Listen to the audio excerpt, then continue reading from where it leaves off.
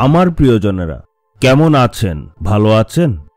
ঈশ্বর তো নিশ্চয় ভালো কাজ করেছেন। আমাদের ঈশ্বর এতই ভালো যে প্রতিদিন আমাদের মার্গদর্শন করেন। কিন্তু আপনি ঈশ্বরের জন্য কি করেছেন? দ্বিতীয় বিবরণ, ত্রিশ অধ্যায়ের কুড়ি পদে দেখি, যেন তোমাদের ঈশ্বর সদাপ্রভুকে ভালোবাসো, তার রব শুনো তাতে আসক্ত থাকো। কেননা সদাপ্রভুই তোমাদের জীবন আর তোমরা বহু বছর বাস করতে পারো। ঈশ্বর আমাদের জন্য কি? উনি হলেন জীবন ও আমাদের দীর্ঘায়ু। উনি আমাদের দীর্ঘায়ু ও জীবন দান করেন। আমাদের কি করা উচিত? উনাকে আমরা প্রেম করা উচিত সমস্ত মন দিয়ে। ঈশ্বরকে আপনি কতটুকু প্রেম করেন? শুধু যখন দরকার পড়ে, তখন ঈশ্বরকে অনেক প্রেম করেন। হে ঈশ্বর, আমাকে এটা দিন, সেটা দিন, আমাকে সুস্থ করে দিন। তখন অনেক প্রেম নিয়ে আমরা প্রার্থনা করি। আপনি প্রতিদিন ঈশ্বরকে প্রেম করেন? সমস্ত মন দিয়ে, সমস্ত বল দিয়ে, সমস্ত হৃদয় দিয়ে।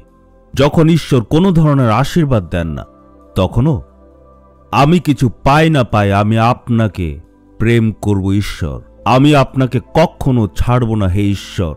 যতই অভাব থাকুক না কেন, আমি আপনাকেই খুঁজব। আপনার বাক্যকে আমি মানব, আপনার আজ্ঞা আমি পালন করব।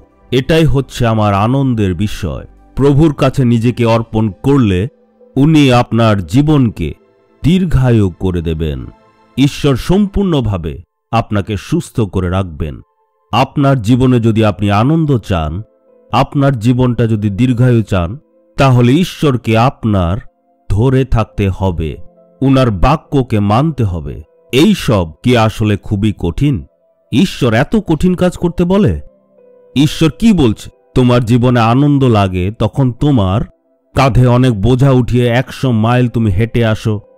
লম্বা যাত্রা করতে হবে এমন কি প্রভু বলেছেন। এমন না, খুবই সহজ, উনি বলেছেন, আমাকে প্রেম করে আমার বাধ্য হলে আমি তোমাকে দীর্ঘায়ু দেব।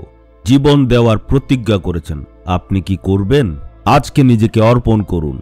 বলুন, হে প্রভু, আমি আপনার বাক্যকে মন দিয়ে মানব, আমি আপনার বাধ্য হব। আপনার বাক্যর কাছে অর্পণ করছি। আপনার আজ্ঞা পালন করার জন্য অর্পণ করছি। আপনি আমার জীবনকে দীর্ঘায়ু করার আনন্দ দেন, তাই আপনার প্রশংসা করি। স্তুতি হোক স্তুতি হোক। যীশু খ্রিস্টর নামে এই প্রার্থনা চাইলাম, পিতা, আমেন আমেন।